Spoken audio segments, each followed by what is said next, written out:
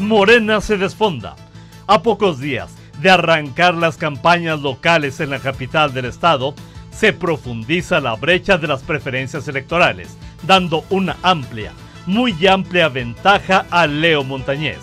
Según la encuesta que esta semana libera la empresa Massive Caller, si en este momento fueran las elecciones para alcalde en el municipio de Aguascalientes, 51% de los electores darían su voto a favor de Leo Montañez y 27.8 iría con la banderada de Morena.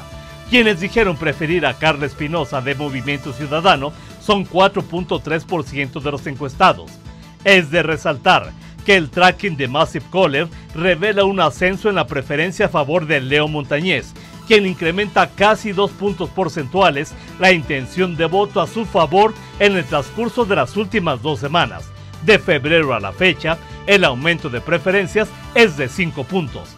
Caso contrario es el de la candidata de Morena, cuyos simpatizantes caen en picada dos puntos respecto a la medición anterior.